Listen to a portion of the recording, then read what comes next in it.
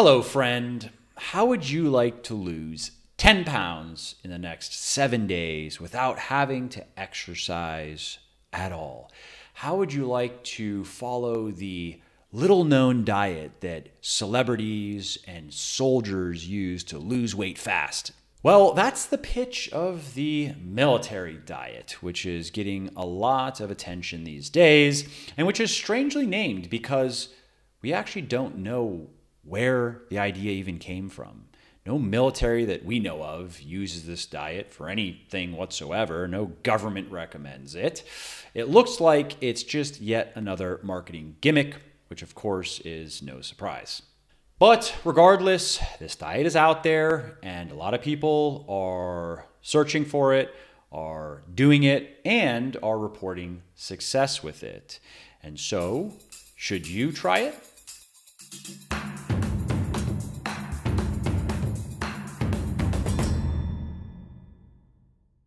Well, the first thing you should know is there's nothing inherently special about this diet. It's just a low calorie, you could even say very low calorie diet that entails eating about 1,000 calories three days a week and then no more than 1,500 calories four days a week. And you're supposed to alternate between the low calorie days and the higher calorie days. The idea here is that you just use this to reach your goal and then you go back to normal eating. This is not supposed to be some long term diet or sustainable diet. It's very unsustainable. And that's kind of the point because drastic measures can produce drastic results. Another thing that many people find appealing about the military diet is you don't have to exercise because you are not eating very much food. So you're creating a rather large calorie deficit, regardless of whether you exercise or not. And that's why there are people out there who can lose five, six, seven, eight, not even 10 pounds in their first week. Now, that's not going to be all fat. Remember that a lot of that is going to be water and glycogen, which is a form of carbohydrate that's stored in your liver and in your muscles and that is vacated when you dramatically drop your carbs, which you're going to have to do on the military diet. So while losing uh, a fair amount of weight, just poundage in the first weight in the first week can be appealing, remember that's not fat. Of course, you are going to lose fat in that first week, and you are going to lose more fat on the military diet than you would on a more reasonable diet that doesn't have you more or less starving yourself. But there are some consequences that we'll get to in a minute. First, however, I just want to give you an idea of what eating is like on the military diet. So here is day one. This would be a low calorie day. So for your breakfast, we have one half of a grapefruit, we have a slice of toast, two tablespoons of peanut butter, a cup of black coffee or tea, for a total of 327 calories. That's it for breakfast.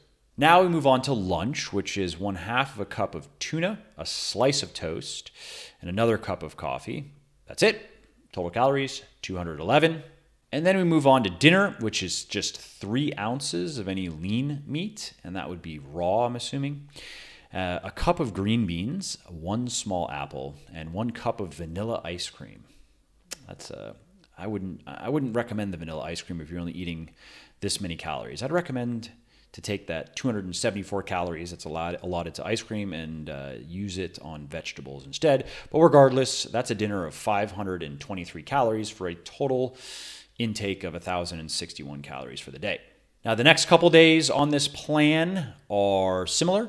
They have some different food choices, like we have some cheddar cheese here, we have some hot dogs. Again, not, not, that I would, not what I'd recommend, but there's always that vanilla ice cream. Uh, but it's more or less the same thing not a lot of food. And so the idea then is you starve yourself a couple days of the week, and then you can eat quote unquote whatever you want on the other days, but no more than 1500 calories of whatever you want. So that's still pretty restrictive. If you go into Excel, fire up your, your favorite calorie counting website, and check out what 1500 calories is like, especially of foods that would qualify as whatever you want, you're going to quickly learn that you can't eat that much of any of those foods. All right, so who should follow the military diet? Anybody? Uh, I'd say most people shouldn't. But if you need to wait, lose weight quickly and health be damned because you're not going to mess yourself up in a week or two or even three, possibly four of something like this. If you do it for too long, you will, then I understand why it's appealing and it wouldn't be entirely unadvisable, I suppose because you are going to drop a fair amount of weight for sure on this diet. But remember that it's not going to be exclusively fat. A lot of that weight is going to be water and glycogen, like I mentioned earlier.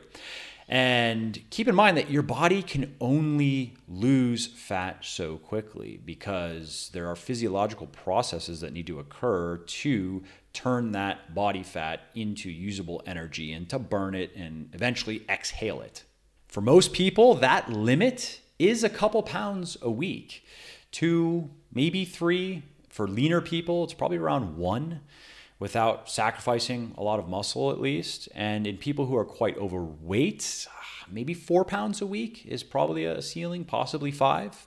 And so, again, keep in mind that when you follow the military diet, while you might like what you're seeing on the scale, that is not going to be all fat. Only maybe 30% of it at, most is going to be fat. The rest will be water, glycogen, and food weight, too, I should mention. Because remember, when you are generally eating more food, that means that you generally have more food in your body that's being processed. And of course, that weighs something. You reduce your food intake, you are generally going to have less food in your body, and that equals a lower average body weight.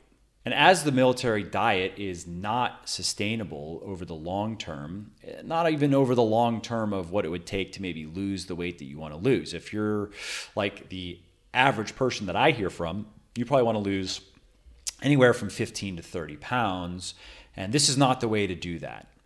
15 pounds of 15 to 30 pounds of fat in particular. This is not the way to do that you will absolutely suffer trying to lose that much fat on the military diet. And you are going to end up losing a fair amount of muscle as well. And especially if you're not exercising and not training your muscles, which is going to be quite difficult to do if you're following this diet because you're eating so little food.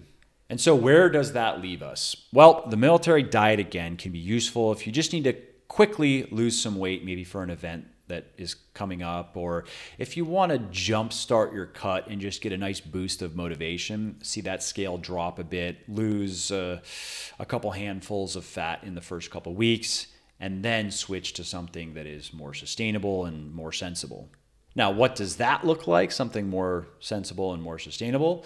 Well, there are a few points. One is I recommend you use an aggressive but not reckless calorie deficit, so something around 20%, eating 20, maybe 25% fewer calories than you're burning every day, as opposed to with the military diet. If you are the average woman, you're maybe gaining, you're maybe uh, burning anywhere from I don't know, 1800 to 2000 calories a day, especially if you're if you're exercising. If you're not, it might be a bit lower.